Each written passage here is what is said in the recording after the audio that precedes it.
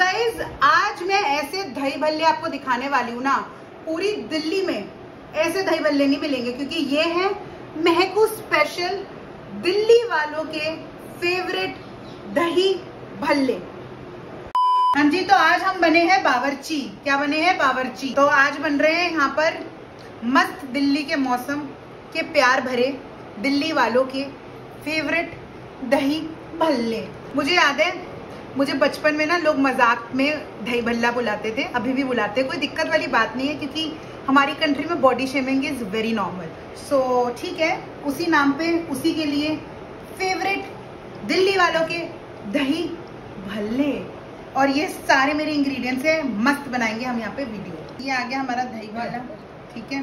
तो गए इसकी जो क्या कहते हैं, हमने किया है ना, ये हमने इसको इस वॉफल कोन में सर्व किया। आपने इसमें आइसक्रीम बहुत खाई होगी, लेकिन दही भल्ले। दिल्ली वालों के फेवरेट दही भल्ले इसमें पहली बार खा रहे हो। ये आ गए आलू हमारे, और ये आ गए इसमें छोले। ये मम्मी यहाँ से इंस्ट्रक्शन दे रही है और अंदर स्टाइल क्योंकि गंगम स्टाइल ये है महक का स्टाइल ये आ गया नमक, ये आ गया भुना हुआ जीरा। थोड़ा ऊपर से भी हम डाल देंगे। ये आ गया अनन्या पांडे के पापा।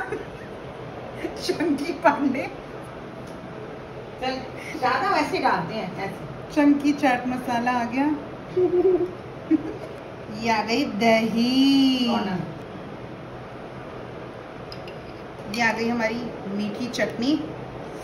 ओहो हो हो हो ओहो हो। मीठी चटनी एकदम मेरी जैसी मीठी है। क्या करूँ मैं?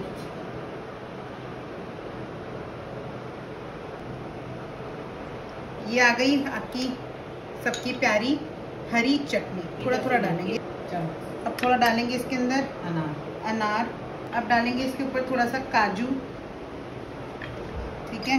थोड़ा नहीं थोड़ा ज़्यादा ही डाल लेना। फिर डालो इस पर एक आधी किशमिश धनिया या पुदीना जो भी अपने घर में मिले। अपने घर ये था। And with this our Delhi के favourite dahi bhalle are absolutely ready in a waffle cone तो गाइज़ ये खाती हूँ मैं दही भल्ले जिसको मैंने प्रेजेंट किया है ये वॉफल कोन के अंदर।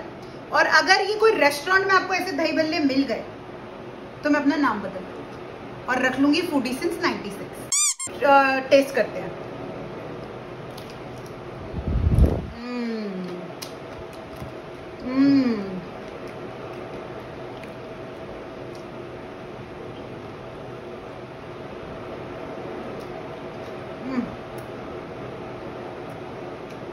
Amazing.